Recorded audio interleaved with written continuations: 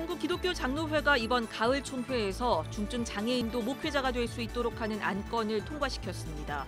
또 목사 수련 과정에서 성폭력 예방 교육을 의무화하는 방안도 제시했습니다.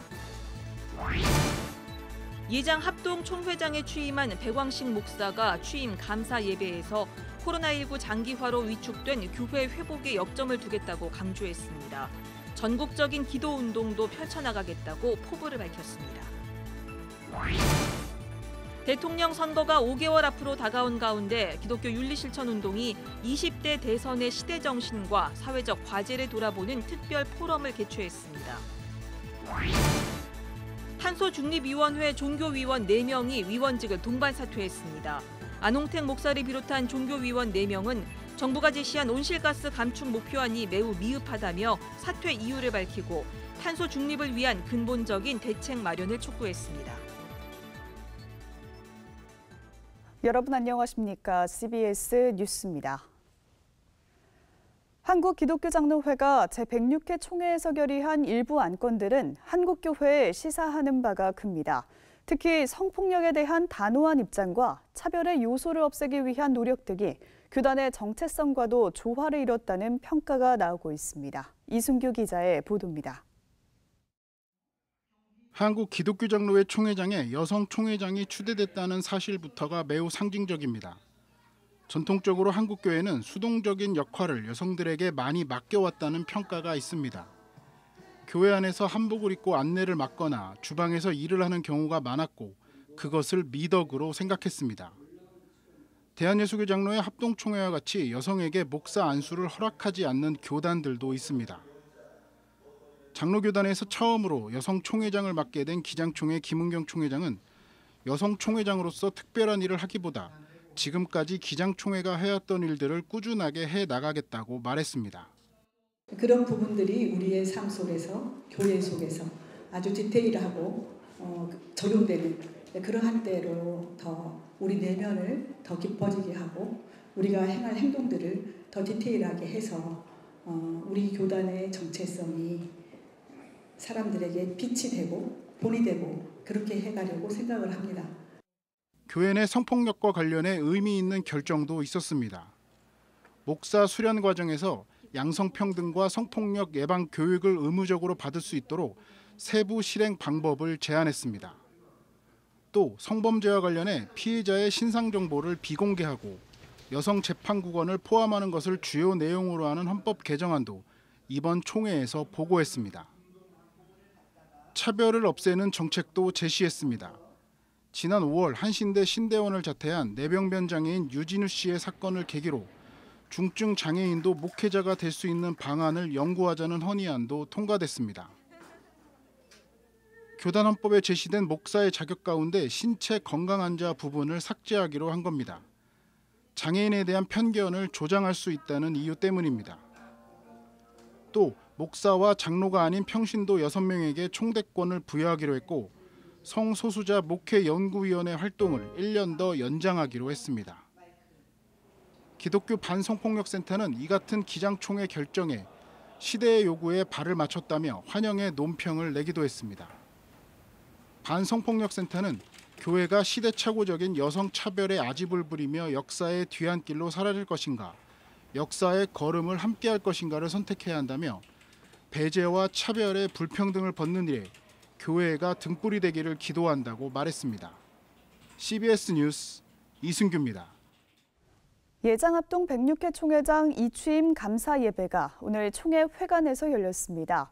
예장합동 백왕식 신임 총회장은 코로나19 장기화로 위축된 교회 회복에 역점을 두겠다는 포부를 밝혔습니다. 송주열 기자입니다.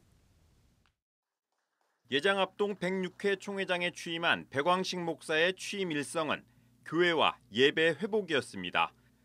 백왕식 총회장은 취임사에서 코로나19가 장기화되고 있는 상황에서 중책을 맡았다며 총회의 사역이 전국 교회와의 은혜로운 동행이 되도록 전국적인 기도 운동을 펼쳐나가겠다고 밝혔습니다. 지난 회기 목사 중심의 강단 기도회를 진행한 것에서 한 발 더 나아가 교단 소속 전국 교회가 함께 참여하는 기도 운동을 계획하고 있습니다. 백왕식 총회장은 이번 주 중으로 기도회 조직 구성을 마치고 내년 1월부터 기도 운동을 시작할 것이라고 밝혔습니다. 우리 교회가 다시금 한번 본질로 돌아가고 우리 가슴이 다시 한번 불을 지피고 엎드려서 눈물을 흘릴 수 있는 그런 교단 우리 교회들이 됐으면 좋겠습니다. 직전 총회장 소광성 목사는 이임사에서 최근 인기를 끌고 있는 오징어 게임 드라마를 예로 들며 교단 내부에 있을 수 있는 권력 다툼을 종식시키는 것이 중요하다며 106회 총회가 은혜로운 동행의 역사가 가득 넘치기를 기도한다고 밝혔습니다. 교단 내부에 있을 수 있는 오징어 게임 다 종식시켜야 되고요. 거룩한 성총회를 이루어야 합니다. 예장합동 106회 총회장 이취임 감사 예배에는 총회장을 지낸 박무용, 이승희 목사가 축하 메시지를 전했고 총회 산하 기관장들과 상비부장들이 참석했습니다. 앞서 백광식 총회장은 본인이 시무하는 울산 대암교회에서 당선 감사 예배와 함께 총회 준비위원회 해단식을 가졌습니다. 백광식 총회장은 이 자리에서도 기도 운동을 일으켜 코로나19로 침체된 한국 교회를 다시 부흥시키는데 힘을 쏟겠다고 강조했습니다. CBS 뉴스 송주열입니다. 대통령 선거가 5개월 앞으로 다가온 가운데 기독교 윤리 실천 운동이 20대 대선의 시대 정신과 사회적 과제를 돌아보는 특별 포럼을 개최했습니다. 그 첫 번째 시간에는 능력주의에 기반한 공정 담론에 대한 논의가 진행됐습니다. 오요셉 기자입니다. 첫 포럼은 공정을 주제로 열렸습니다. 2030 청년 세대들에서 주로 많이 이야기되고 있는 능력주의에 기반한 공정이 과연 올바른 것인지 성찰하는 시간으로 진행됐습니다. 발제자로 나선 성공회대 김동춘 교수는 먼저 능력에 따른 차별을 정당하다고 보는 공정 담론이 있는데 여기서 이야기하는 능력은 엄밀히 말해 시험 성적과 출신 대학에 관한 것이라고 지적했습니다. 특히 이들의 공정 담론은 상위권 대학 학생들만을 대표하고 대다수인 청년 노동자들은 빠져 있다며 비뚤어진 공정 담론이라고 비판했습니다. 시험 성적이 능력과 노력의 양을 잘 보여주는 중요한 지표인 것은 맞지만 그 이면엔 부모의 문화 자본과 계층, 환경 차이 등 더 근본적인 경제적 구조적 불평등이 존재한다고 지적했습니다. 약간의 자기의 기득권을 가지고 있는 사람들이 가지고 있는 그 알량한 그 기득권을 지키기 위한 보수성의 표현이 공정 담론으로 표현된 것이다. 근데 이 사람들은 우리 사회나 구조적인 불평등에 대해서 문제 삼지 않습니다. 대기업 노동자들이 뭐 8천 1억 받는 것은 내 실력이다라고 생각하기 쉽지만 그거는 우리나라의 재벌 기업과 중소기업의 하청 구조의 결과인 측면이 큽니다.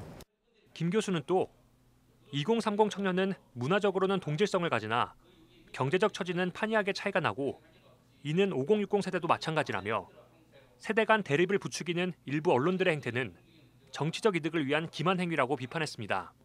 불평등의 문제는 이제 뭐 결국은 우리 사회에서 심각한 어, 격차, 소득 격차와 그 다음에 자본을 가지고 있는 사람과 가지지 못한 사람의 격차, 이 문제가 우리 사회에서 굉장히 심각한데 이런 문제에 대해서는 눈을 돌리지 않는 일종의 공정 담론의 한계다. 기훈실은 오는 14일과 19일 사회 통합과 사회 불평등을 주제로 하는 특별 포럼을 계속해서 이어나갈 예정입니다. CBS 뉴스 오요셉입니다. 민관이 참여하고 있는 2050 탄소중립위원회의 민간 종교위원 4명이 위원직을 동반 사퇴했습니다. 안홍택 목사를 비롯해 천주교와 불교, 원불교 위원 4명은 어제 탄소중립위원회 앞에서 기자회견을 열고 정부의 탄소중립에 대한 의지가 있는지를 비판하며 사퇴 의견을 밝혔습니다. 종교위원들은 2050 탄소중립위원회는 기후위기를 막고 지속가능한 사회를 위해 필요한 목표와 과학적으로 밝혀진 내용을 국민에게 정직하게 알려야 한다고 강조했습니다.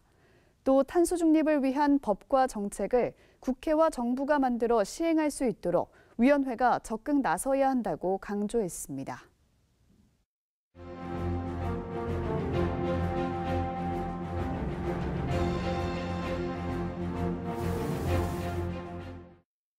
사람 사는 일이 예나 지금이나 다르지 않습니다. 기본적인 의식주는 가장 기본적인 삶의 조건입니다. 그러나 기본적이라는 수식어는 사회의 분위기에 따라 차이가 큽니다. 오늘날 삶의 환경은 비교 의식을 벗어나기 힘들고 다양한 미디어 매체의 여론 형성에 깊이 영향을 받습니다. 최근 1년여 서울에서 집을 매입한 2030 세대의 경우 절반 이상이 갭 투자였습니다. 20대는 71%, 30대는 49%입니다. 젊은 세대의 불안감을 생각하면 마음이 참 힘듭니다. 여야의 대선 후보 경선이 진행되면서 압축의 압력이 계속 높아지고 있습니다. 사회 갈등이 더 가파르게 치솟을 것입니다. 후보로 나선 사람들이야 각오한 일이겠지만 이로 인한 사회적 비용이 큽니다.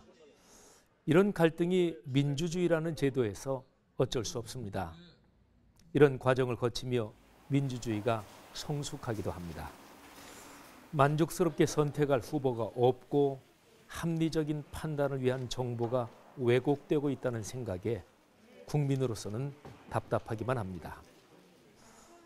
미국과 중국의 대립이 어디까지 갈지 그 상황에서 우리나라가 어떻게 처신해야 할지 고민이 큽니다.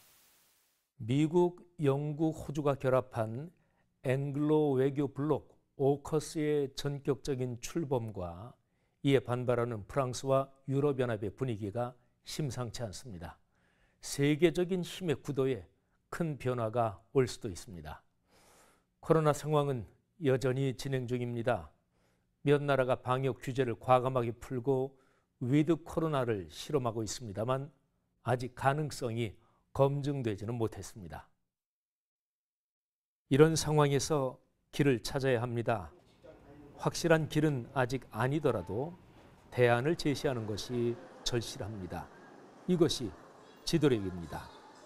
문제는 길을 찾고 대안을 떠올리는 힘이 어디서 오느냐는 것입니다. 희망의 상상력입니다. 인류 역사의 어두운 시대마다 이를 극복했던 힘이 이것입니다. 며칠 전 문재인 대통령과 방탄소년단이 유엔 지속 가능 발전 목표 모임에서 연설했습니다. 방탄소년단이 Permission to Dance라는 곡으로 영상 메시지도 전했습니다. 오늘날 심한 좌절을 겪고 있는 다음 세대와 젊은 세대에 전하는 이 노래의 가사에 희망의 상상력이 가득합니다. 밤은 점점 추워지고 내가 뒤처진다고 느껴질 때면 그 순간을 꿈꿔봐. 그리고 외쳐. 춤추고 싶어. 그 어떤 것도 우리를 막지 못해. 우린 걱정할 필요 없어. 떨어지더라도 어떻게 착륙하는지 알거든. 우리가 춤추는데 허락받을 필요는 없어. 잘 보유할 사람은 없어. 그냥 부딪혀 보는 거야. 우린 계속 나아갈 거야. 춤추는데 허락받을 필요는 없어. 교회는 예언자의 상상력을 압니다. 절망의 골짜기와 메마른 사막을 지나는 사람들에게 샘이 솟고 강이 흐른다고 외친 그 희망의 상상력이 무엇인지 압니다. 오늘 우리 시대의 희망의 상상력은 어디에서 오나요? 교회가 그 마중물이 되어야 합니다. 우리 시대의 희망하는 친구들과 함께 말입니다. CBS 논평이었습니다.